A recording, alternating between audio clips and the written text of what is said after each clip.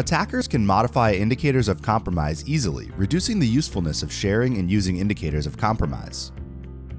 The goal of the Information Sharing and Scalable Network Defense Initiative is to go beyond indicators when sharing information about an attack. In this demonstration, we will go over the sharing of attack behaviors between two enterprises, Blue and Indigo. We will also go over response actions initiated at the Indigo Enterprise after it receives and uses the shared information from the Blue Enterprise. An attack is detected on the Blue network, initiating response actions. Attack information is shared by Blue to a message broker outside of both enterprises. A broker client at the Indigo Enterprise receives this information, triggering Indigo's mitigations against the attack behavior shared by Blue. The Blue Enterprise uses Splunk as its SIEM and Demisto as its orchestrator. The Indigo Enterprise uses Splunk as its SIEM and Phantom as its orchestrator. RabbitMQ is used as the message broker between the enterprises.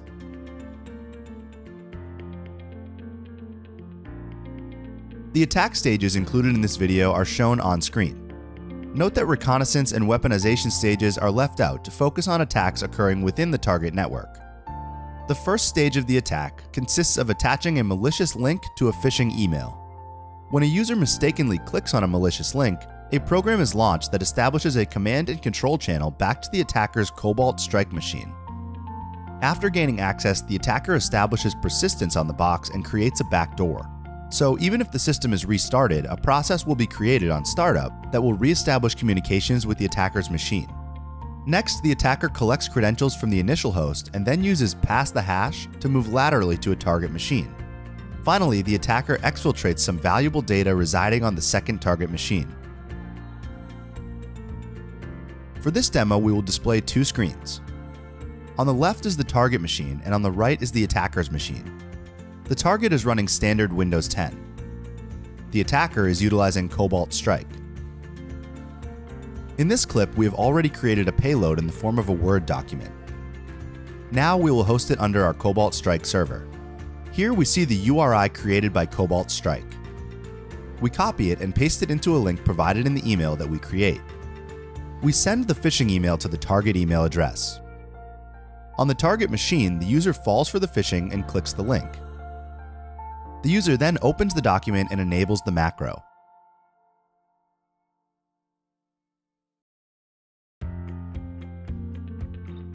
After enabling the macro, an indicator on the attacker's Cobalt Strike box shows that we have successfully hooked the victim's machine.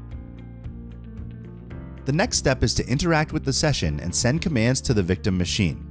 We will send a sleep command so that the target beacons back to the attacker's box every second. Now that initial access and a C2 channel has been established, the attacker wants to maintain persistence on the box. This can be done by creating a script that will call back to the attacker's box every time the target machine is rebooted.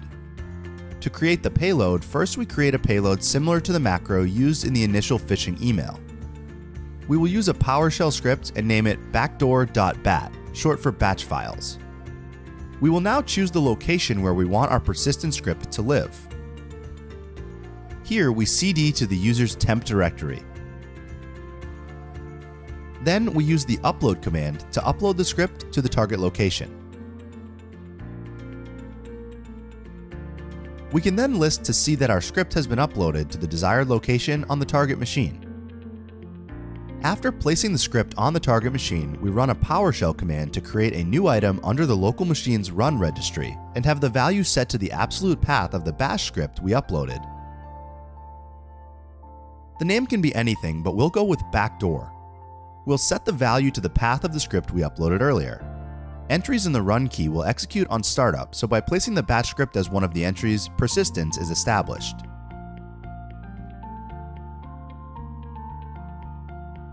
On the target box, if we go to the registry editor, we can look inside the run registry key to see if the value was properly added. After refreshing the entries, we see that backdoor has been added to the run key. After establishing persistence, we harvest credentials by right-clicking on the box, going to Access, and choosing to dump hashes. Now we have the hash credentials for this list of users. These can be unencrypted using a password cracker for instance, but for now we'll just use these hashes directly. Next, we want to perform some quick reconnaissance so we can run the netview command on target. This will display all other computers and associated IP addresses that are connected to the same domain. In the Target View panel, we are able to see netview results. From the Target tab, we can move to the next target machine by leveraging our current session opened on our HR01. We right-click on the target, log in, and choose PS exec. On the top of the window, there's the list of hashes we dumped earlier. We can select one to use and it populates the below user password and domain fields. We can choose the same listener as we used for our initial attack. We choose the first target session as the pivot point. Now that we have a session on the next target's machine, we'll set the sleep timer to 1 on this target as well. On the second machine, we can browse the file directory and look for some valuable data that may be residing on the machine. Once we found the file that we want to download, we can right-click the file and select Download. We can interact with our session to check the status of the download. We can then go to the Downloads tab where it shows the file we download from the target.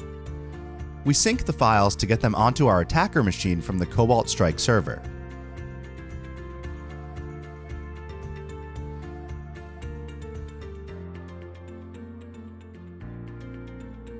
The workflow begins following the attack against Blue, where multiple Splunk alerts trigger a Demisto incident. The left window shows the Demisto dashboard in the Blue Enterprise.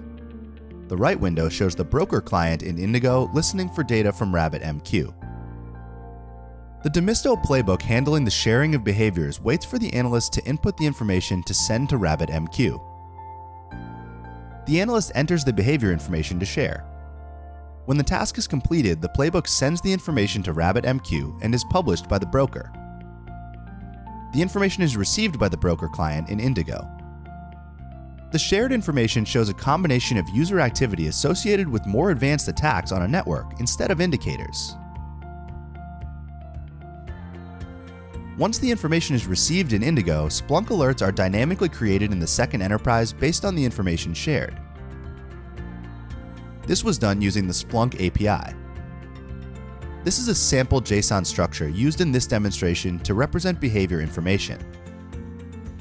Next, the created Splunk alerts in Indigo will trigger on past log data and begin Indigo's response mitigations. There are three alerts, each focusing on a different behavior seen DNS, host, and user activity.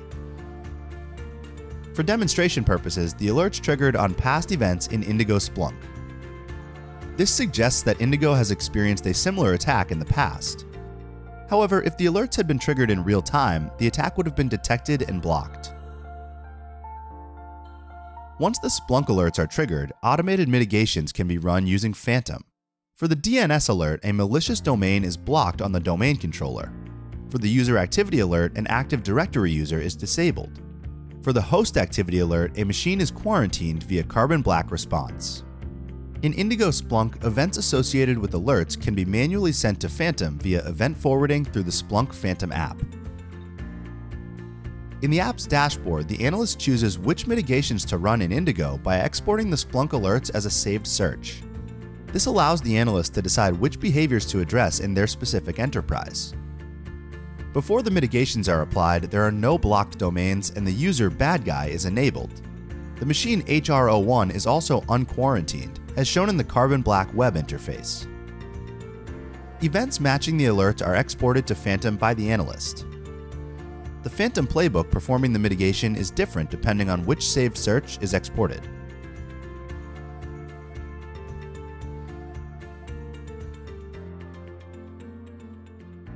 As shown in the web interface, Carbon Black has isolated the machine HR01. A PowerShell script checking if the mitigations have been applied is run on the domain controller.